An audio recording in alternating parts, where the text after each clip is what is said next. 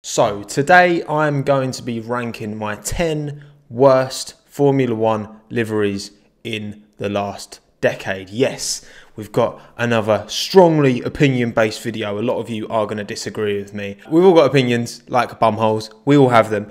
And here's mine. I went through the last 10 years of Formula One cars and picked out the liveries. And again, I've tried to distinguish because car design has changed a lot over that time, and some of the car design is gopping visually.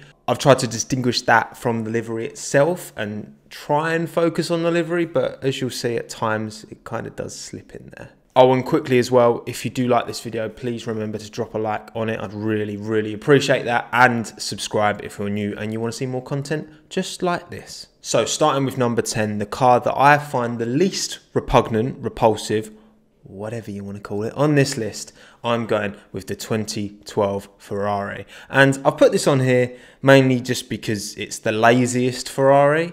In terms of it just being a red car with no additional design elements to it, it is just a red car with a couple of little a little bit of white on the wings. I think it's a shame that, that Ferrari aren't a bit more experimental and a bit more playful.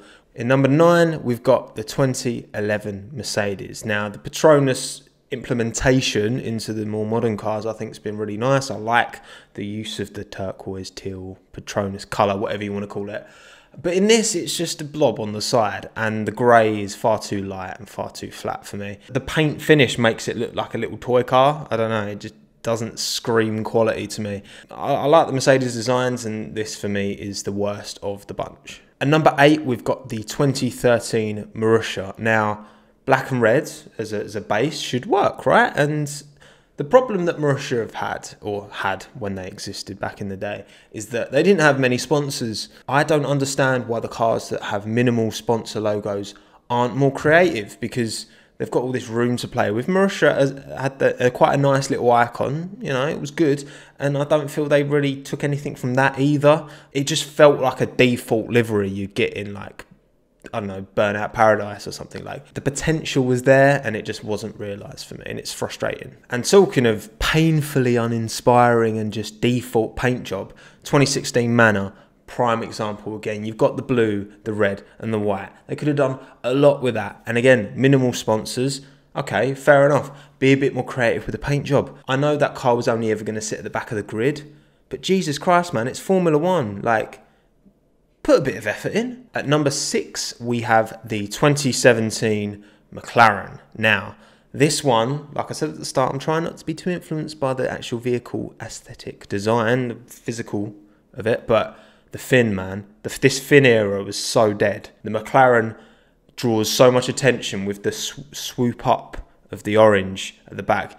It just makes this fin look even bigger than it does anyway, and it already looks huge. For me, really clumsily uh, draws attention to the worst part of the car. The Ferrari, the 27 Ferrari, was a good example of how I think they should have done it, where they actually have the the red come down as if it is a normal car without the stupid fin on the back, and then the white for the fin. I dig the orange. Um, the actual color combo I don't dislike really. It and I like that in terms of the amount. It's it's it's the fin, man. I can't look past the fin. And number five, we have the 2015 Sauber.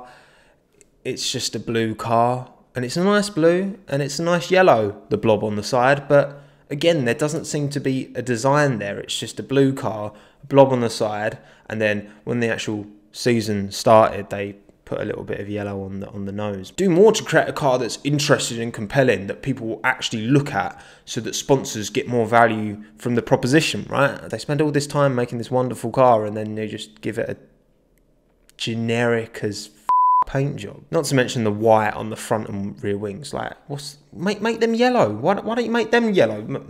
Why white? I, I don't get it. Okay, number four, we have the 2013 Williams.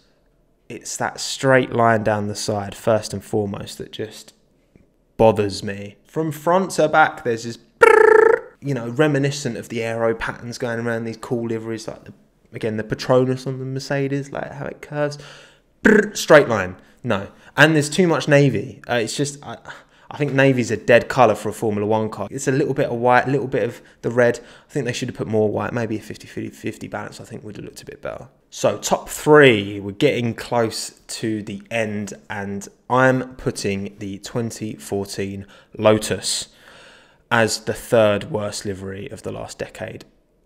I mean, again, it's hard to look past the revolting nose on that car. It's just a mess, the livery, man. There's the black and the gold and the red. It's, it's almost the opposite issue to what the Manor um, car had. There's too much going on. There's too many logos. There's too many swishes. And like, it's just, it's just a show. And to me, it just does not work. There's too much red. I think they should if they're going to use the red, use it a little bit more selectively. And it's just, again, it's just too much. It's just an overload on me, and I, I don't like it. And the nose just looks like someone spreading their legs, which is not what you want to see on an F1 weekend, really, is it? Okay, number two, the second worst livery of the decade. I'm going for the 2019 Williams. Yeah, it's just bad, isn't it? Spray paint, blue. I, I feel like they had that paint job and kept it so generic, and they were like, all right, then we can just stick any old sponsors. So then ROKiT and Rexona, and also it. I don't know if it was again. We know the car design was awful, but that car looked massive.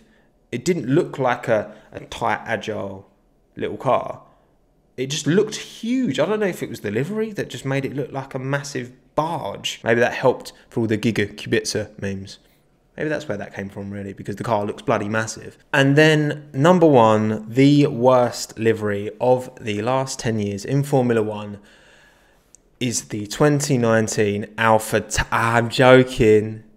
I got ya. I got ya. I got ya. No, it's not the Alpha Tauri. Uh, as much as it's not my least favourite this year, is not the worst of the decade. Don't hate me. No, I'm going with the 2012 Sauber. Now, look, they've clearly, you know, put a bit of effort or a little bit of thought process. Like, oh, okay, let's have a color block at the like color blocks work great on sneakers, on trainers. I do that a lot on my sneaker screen stuff, and it works really well. And they had the grey at the front and the, and the back and the white in the middle. But on the car, it just doesn't work. You've got these almost vertical lines cutting through what is meant to be this curvaceous, like no, it, that doesn't work. With a lot of weekends, there was big white spaces on the car, and to me, the just balance is just completely off. Of course, there's a cherry on top. The thing that makes this livery probably worse than the Williams for me is the fact that it's sponsored by Chelsea. Why is a football team on an F1 car? I get that football teams are businesses, but no, I can't stand Chelsea, and it has no place in Formula One or on a Formula One car. No, no team has. If Mercedes, rock, it wouldn't be Mercedes, would it?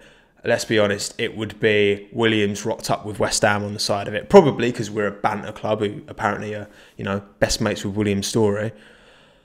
Don't West Ham on the Haas. Imagine that. Like, no, no, like no. Football teams should be nowhere near Formula One teams, and the fact that it's Chelsea who are one of my least favourite football clubs.